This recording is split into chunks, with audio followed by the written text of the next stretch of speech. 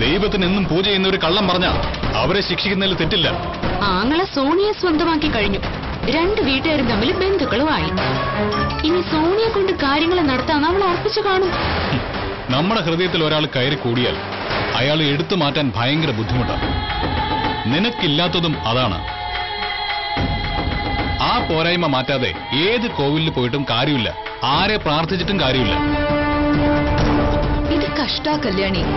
കിരൺ ഏട്ടനും നിന്റെ കാര്യത്തിൽ വിഷമത്തില. നീ ഒരു സ്ഥലം പറഞ്ഞാ മതി. ഏട്ടനോട് ഞാൻ പറയാം. അവിടെ വെച്ച് നിങ്ങൾക്ക് കാണാലോ. നാളെ ഞാൻ അറിയാതെ ഇവിടെ എന്തെങ്കിലും ചടങ്ങ് നടക്കുകയാണെങ്കിൽ അത് മുൻകൂട്ടി പറയുന്നതായിരിക്കും നല്ലത്.